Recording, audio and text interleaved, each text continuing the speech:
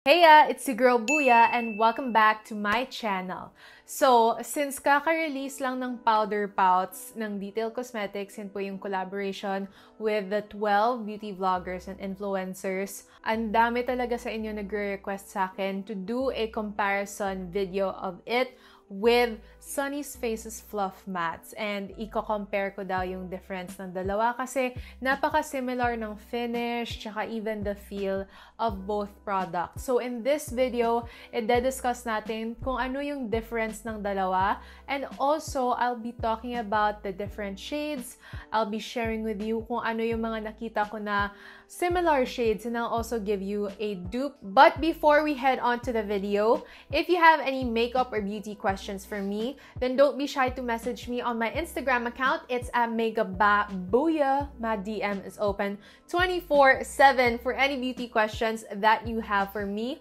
Also, guys, if you want to be a part of the Boo Fam, we have a Facebook and Discord group. Yes, we have a Facebook and Discord server. So if you want to be a part of those groups, then click the links in the description box below. Lastly, guys, a little disclaimer lang that some of the links in the description box below are affiliate links which means I may earn a small commission when you buy products through those links. So that commission will really help sustain this channel. So if you want to support me and my content other than liking, subscribing, and sharing my videos, then this is one way to support my channel. This video will contain three parts. So the first part is shade comparison, second part is food test, and third part is discussion of product information and its performance.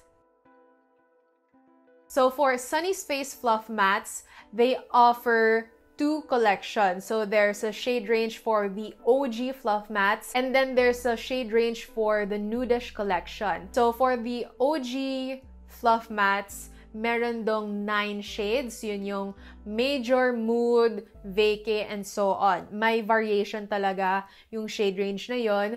And yung nudish collection, of course, puro nudes yon pero varying nudes. Merong cool and warm nudes for the nudish collection. Now, for the Detail Cosmetics Powder Pouts naman na shade range, yung shades na ina-offer naman nila is, I would say, not as um, hin- wala siyang masyadong variety compared sa ino-offer ng fluff mats. This is a collaboration between the 12 beauty vloggers. So, syempre, kung ano yung shades na ino-offer sa shade range, ganun din yung, ganun basically yung shades na best represents each vlogger. So, hindi nyo talaga, or hindi natin talaga mapipilit na dapat may reds talaga, or dapat may pinks, dapat may berries, because eto yung mga shades sa collection na to for the powder pouts. Eto yung mga shades that they personally handpicked themselves that they feel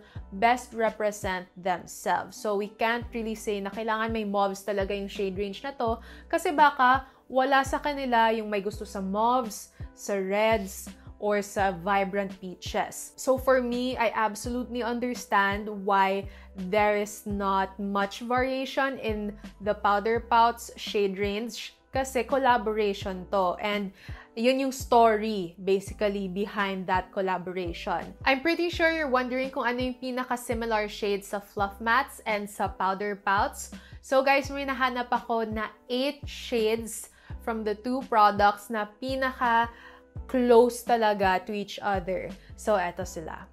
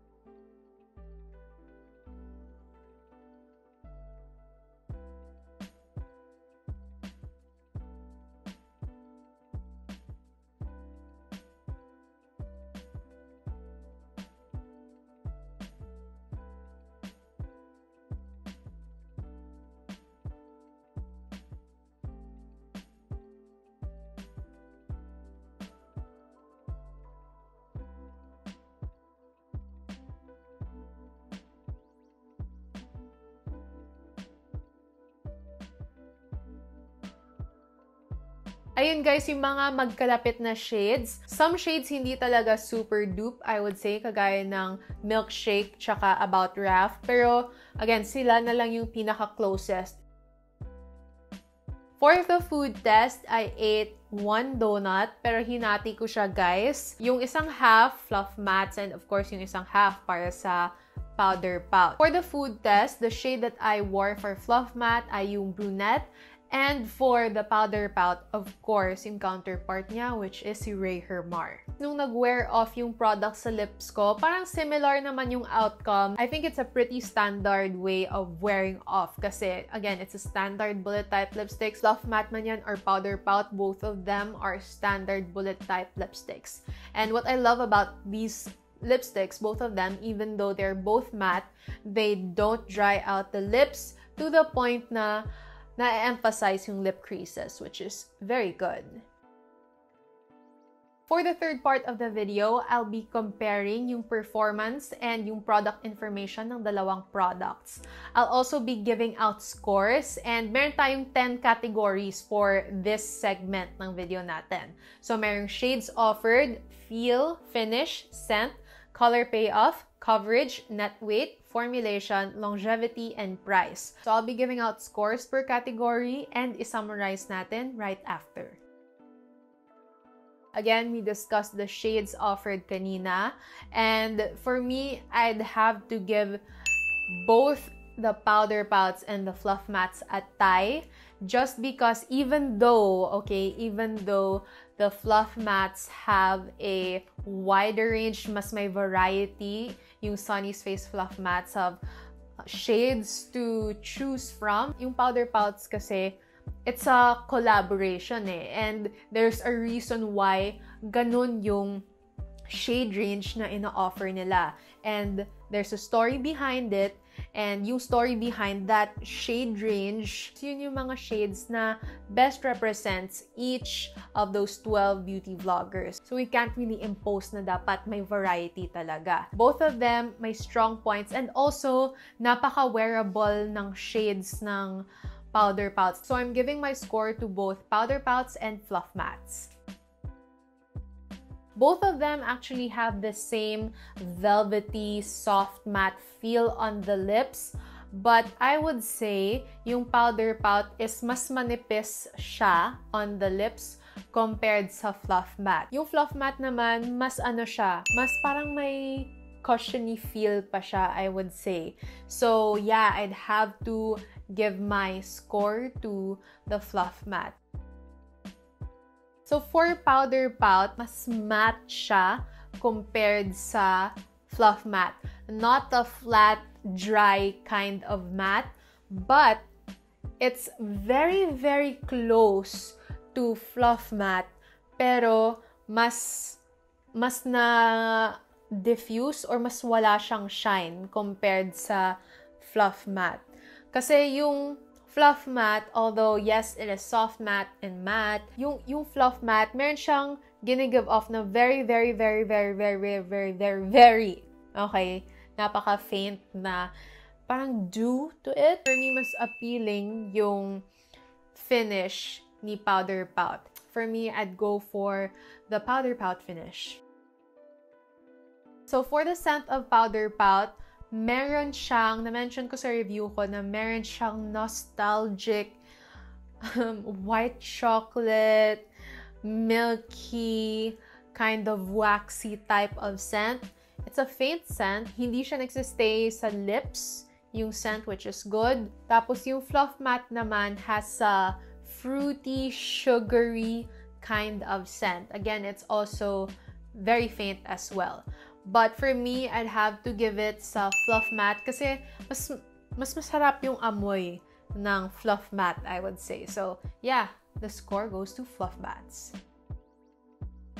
So for both of these products, I would say they have a very, very competitive color payoff for the price na ina-offer ng powder pouts and napaka-competitive niya sa color payoff ng fluff matte is really, really amazing. Pareha sila color payoff, I would say. So, yeah, I give my score to both of them. So both of these products, one swipe pa lang, you're gonna get a beautiful, rich, full coverage swipe. So I'm gonna give my score to both of them. And nakakatuwa guys sa powder pout kasi na-mention ko kanina na mas manipis yung feel niya compared sa fluff matte pero yung coverage niya is full and beautiful in one swipe. So yeah, score to both of them. So for Detail Cosmetics Powder Pout, they offer 4 grams of product. And for Sunny's Face Fluff Matte naman, they offer 3.2 grams of product for their fluff mats. And of course, for that, I'm gonna give the score to Detail Cosmetics Powder Pout. Yung Detail Cosmetics Powder Pout, nasad ako guys kasi gusto ko perfect yung collection ko ng powder pout kasi ang ganda, nakaka-acrylic case. And you know, it's a collaboration of these 12 beauty vloggers and I just want to keep it for, I want to keep it beautiful for a long time.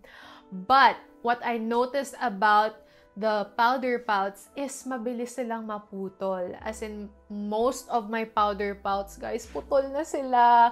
And nasasada ko kasi ang gaganda pa naman ng shades. Pero most of them ay putol na. Yeah, I think there's something sa formula nila na kailangan nilang i-tweak, ayusin, because the sticks break off easily. Bumabangga na yung bullet lipstick sa component or sa packaging ng product, which is sayang sa product kasi instead of mapunta yung product sa lips mo, napupunta siya sa packaging. Yung fluff mats ko, I also have several na naputol na, pero matagal before sila naputol. Pero hindi siya kagaya ng powder pouts na bago pa lang napuputol agad. So for that reason, I'm gonna give the score to the fluff mats kasi napaka-sturdy ng stick.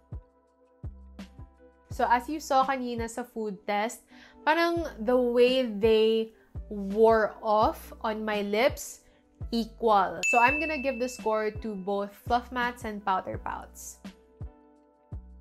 So for Detail Cosmetics powder pouts, yung powder pouts nila is for only 199 pesos. And for the Sunny's Face Fluff Matte, it is now for 395 pesos. So before it was 345 and then nagpataas sila ng presyo. So ngayon naging 395 pesos na siya. So of course, ibibigay ko talaga yung score sa Detail Cosmetics kasi if you go for Detail Cosmetics, instead of the fluff mats, you'll be saving 196 pesos. So basically, makakadalawa kang powder pouts. Alright, so both the powder pouts and the fluff mats got an even score. So both of them got 7 each. So maybe you're wondering, paano to? Akala ko matutulungan ako ni Buya kasi nagpa-scoreboard pa siya. May pa-rate pa siya. May pa-comparison pa siya. Pero tayo naman pala yung result. Ano yung gagawin ko ngayon? Don't worry guys, magsusummarize pa naman tayo. If you're the type of person na hindi ka naman mapili sa shades and gusto mo yung pang everyday lang, napaka-wearable type of lippies and you want to support your favorite beauty content creator or influencer and gusto mo affordable yung product and gusto mo makabili ng dalawang shades, dalawang lipsticks, then go for powder pout. Multi-purpose din siya kagaya ng fluff mats. It will give you that soft matte velvety finish. Napaka-competitive din yung formula niya sa fluff mats. But if you're the type of chica o chico that ano ka naman, medyo playful when it comes to the colors on your lips, then absolutely go for the fluff mats kasi compared sa powder pouts, yung fluff mats may ino-offer silang pinks, mauves, and reds. And yun ang wala sa powder pouts. Also, if you want that rich, luxurious, cushiony feel on the lips, then yeah, go for fluff matte. So that's it for this comparison video of the powder pouts and the fluff mats. Hopefully guys, natulungan ko kayo sa inyong purchasing decision. And if you need more help when it comes to deciding kung ano yung mga shades na dapat yung bilhin, or if you want to know more about the products, meron akong separate reviews ng powder pouts and fluff mats. And I also have a review and swatch party of the Fluff Matte Nudish collection with my dear friend Angel Carino. Ayan si Angel po, Nagko-collab kami niyan, Morena and Chinita. So you'll see the nudish collection on both light and dark skinned. So if you want to see those videos, guys, it will be linked in the description box below. So that's it for this comparison video. If you like it, then please do give it a thumbs up, subscribe to my channel, and share this video. And if you have any more comments or video suggestions, then please do enter them down in the comments section below. Just remember, no hate, just love.